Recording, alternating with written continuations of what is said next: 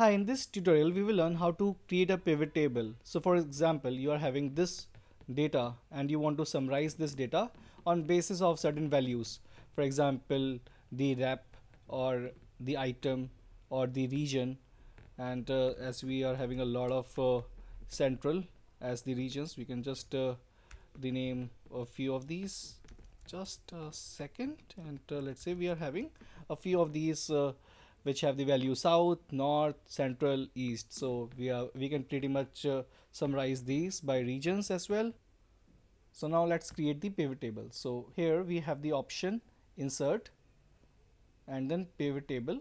So basically you have to select the region of uh, the table from which you want to create the pivot table. So basically you are selecting the data source of your pivot table and uh, here it is. We are having this uh, entire data.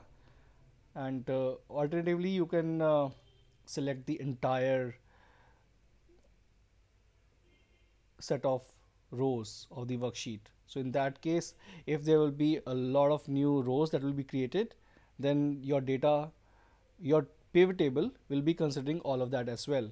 So it depends really. If you want to select the particular area of the table or you want to select whole of the rows of your worksheet. So once you have selected whatever the data source should be, then where do you want to create that uh, pivot table? So here in our case, we want to create it in a existing worksheet. So just uh, select the cell where you want that pivot table to be and just click on OK. So now you will be shown this kind of area where there will be pivot uh, table fields and this uh, placeholder. So select the broader category by which you want to summarize the data.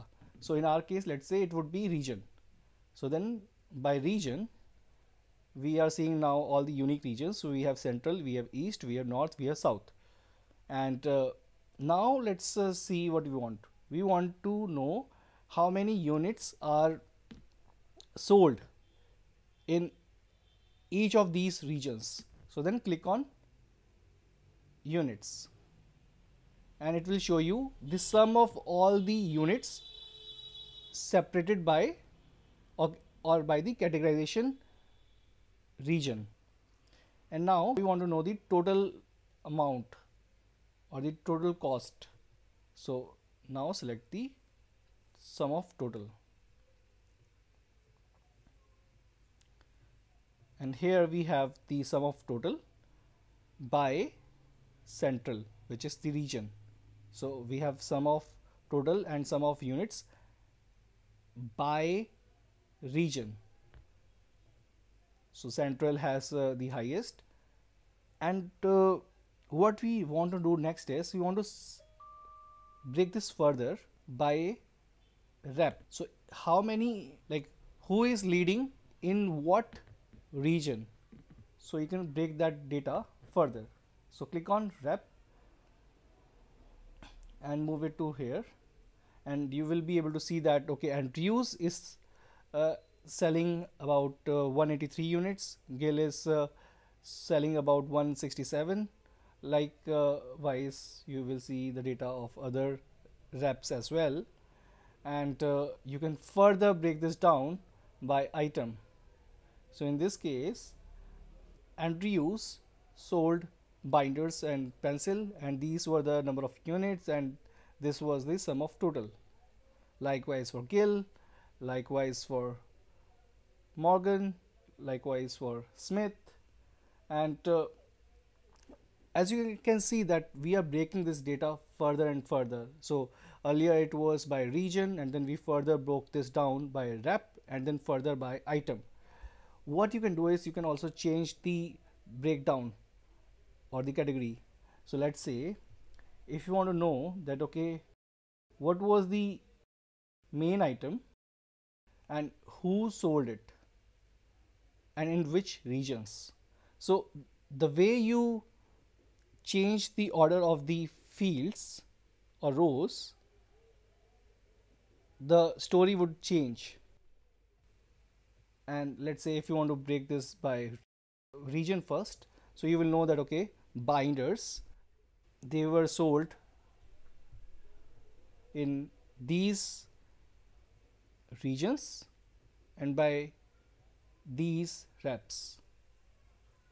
So in total about 428 units were sold out of which uh, 3 it is 367 were sold in central region 4 in east and 57 in south.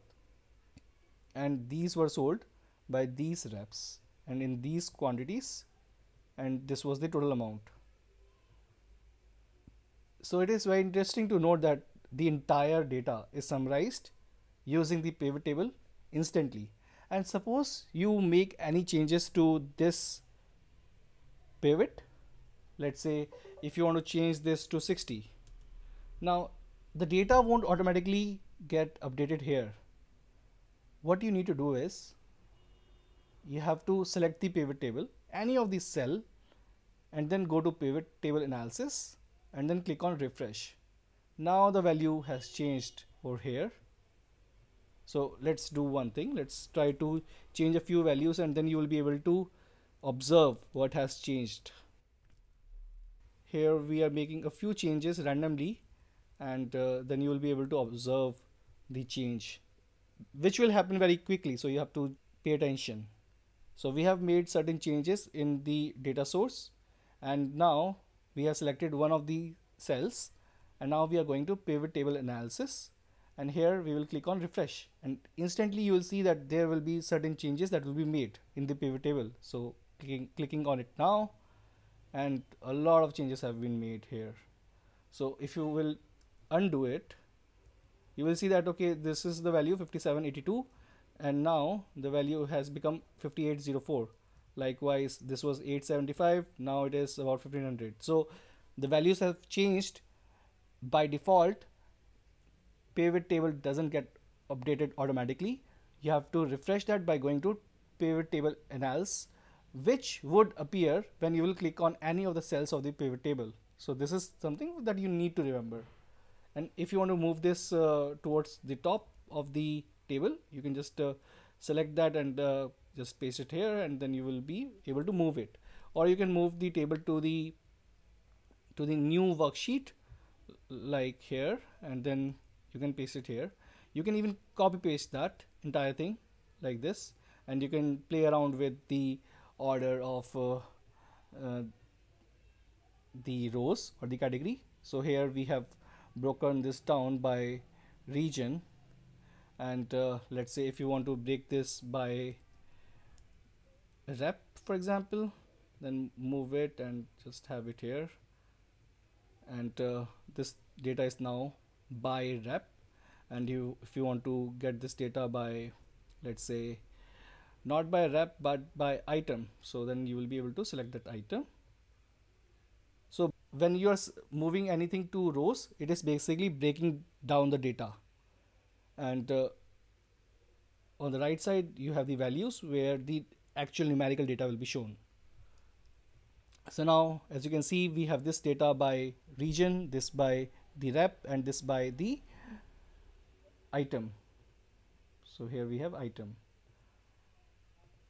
And uh, this was uh, the arrangement that we had made earlier which gives us the insight of uh, the overall the breakdown of uh, the data that okay these are the number of binders that were sold and uh, for what amount and in which region by which rep. So this will give you an option to analyze that okay which of the reps are performing at their best which ones aren't uh, which region is working well for you which one is not. So you will be able to derive a lot of insights from this data.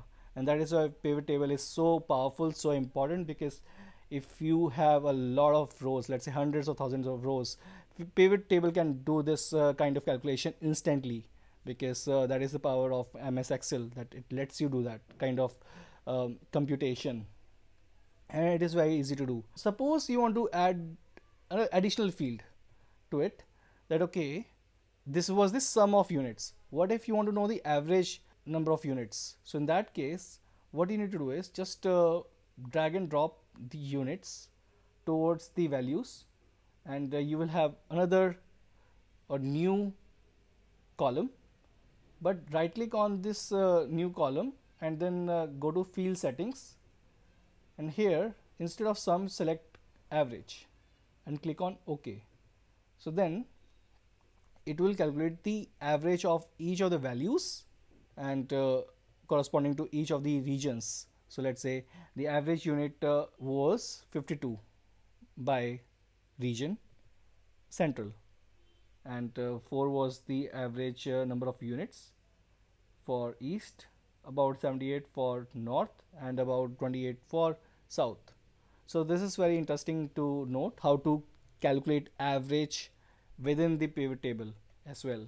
Now one of the interesting things that you should remember is let's say if you are further making some changes let's say 25 here we have 40 then we have uh, 100 then we have uh, 88 and this is okay so very random changes. You won't uh, be able to check what these are because I'm just doing it randomly and rapidly. And yeah so once it is done now if you want to refresh this data then just uh, click on refresh and then the entire pivot tables will get refreshed.